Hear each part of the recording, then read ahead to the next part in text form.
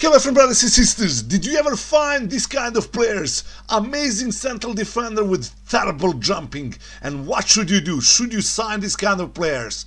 I mean, if you find this kind of players, of course, you should sign them, especially if they're free agents, even if they are not that uh, expensive. Yes, why not?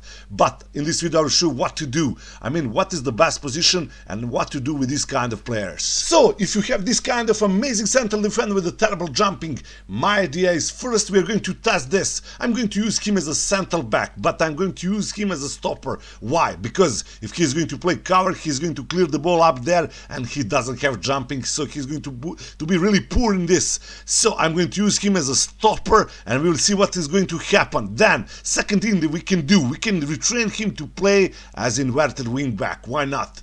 With inverted wing back support duty, I mean with this technical attributes, this passing, um, he can play that really well with this speed. Why not? Or we can retrain him as a DM. We, I'm, I'm, going to try all these things and we will see uh, what is the best position and how is he going to perform. But first, let's see how is he going to perform as a stopper. As I said, don't use him if you have a central defender with a really low jumping. Don't use him as a central defender cover. Just stopper, someone who is going to chase the other players using his speed and he will try to be in front of uh, opponent strikers, attackers. Uh, this is why uh, jumping won't be that important, at least I hope that. So let's try him a ball playing defender stopper. Okay, season is over. He was playing as a ball playing defender stopper, uh, but I pair him with one very tall striker, I mean central defender, and that was Dino Peric. Uh, this is the reason because he's unbelievable in the air. Jumping reach 18, heading 16, and I pair him with my uh, Kolakovic, who is not uh, great in the air, we all know this, but very fast. So these two played really fantastic, if you're asking me. One is clearing the ball, the other was chasing the other strikers, so they did really well. As I said, we won the title really easy. Uh, we had 94 points. Uh, Rijeka was second, 61 point. But let's see how many goals we have conceded with this defense. Team Little Stats is saying that we have conceded.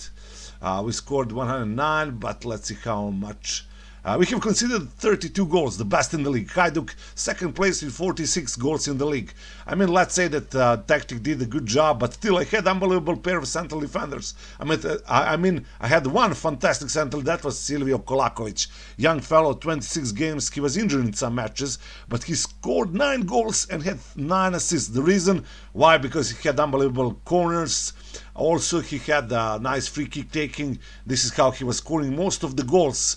In defense, he did amazing job. I will see he improved jumping, but this is still really weak for a central defender. Anyway, so if you're going to use him as a ball-playing defender, you need to use him as a stopper and pair him with one really tall strike uh, central defender.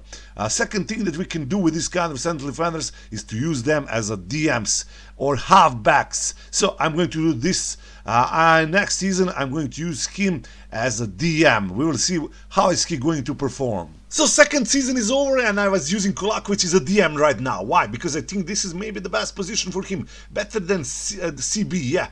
And if we see, he's growing a bit. Jumping is now 8. Uh, but still, this is not great for uh, CB. As a DM, still he's not uh, he didn't uh, this is not his natural position so still need to learn this position but the, uh, he can play as segundo volante really fantastic. Answer he can be half back. Defensive midfield almost five stars with these attributes. That's not a miracle. He's wanted by so many clubs. Like this. Arsenal Liverpool Manchester United. Uh, he's a real monster. What to say about this kid? And let's see how did he perform as a DM I want to check this. Uh, we see that his average rating was 7.18 and not the average rating like as CB. Yeah, that's a normal thing, I mean. But still, he had 16 assists as a DM with my tactic. I don't know what you think. This DM is not that uh, attacking, so I don't know. Maybe I should use him as a segundo volante. He would play even better. Uh, 11 goals. What to say about him? Yeah. Uh, most of goals were long shots. Yeah, I saw that. Anyway, uh, we see that uh, we can, uh, in these situations, you can retrain this kind of uh, CBs to DMs. Why not? Also, third thing that uh, you could do is to retrain him to play as inverted wing back. With these attributes, that's a normal thing. So, inverted wing back, support duty, that's my opinion. Maybe I should use him uh, in the third season as inverted wing back. And let's see how is he going to perform. Third season is over now. I was using him as an inverted wing back. Uh, and let's see how did he perform. We see that now he mastered almost uh, this position. It's okay. And now let's see how did he perform. We won the title again, but that's not that important. It's important. It's important to see how did he perform. 47 games. 18 assists, 11 goals, average rating 7.21. So, what to say about Silvio and about these kind of players with the low jumping, low heading, and with, with incredible tackling, technique, passing skills?